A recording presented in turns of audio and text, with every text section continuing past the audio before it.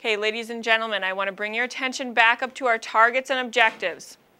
And the one I want to focus on is I know I've got it when, because that tells me if you understood and you got everything we needed from the lesson. I know I've got it when I match UDHR articles to specific pieces of text and explain why the text upholds or challenges our human rights.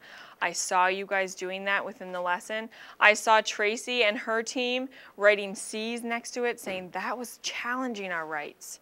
And I heard some really nice explanations supported by evidence. So I want to congratulate you on a great lesson.